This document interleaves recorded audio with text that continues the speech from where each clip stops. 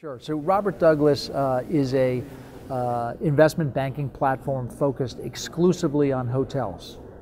Uh, so we raise capital for hotel owners. We don't work for sources of capital, but we work for users of capital.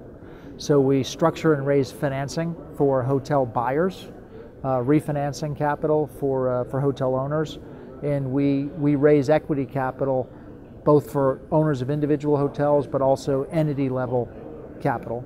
And the final thing we do is we also uh, sell hotel assets uh, on behalf of owners.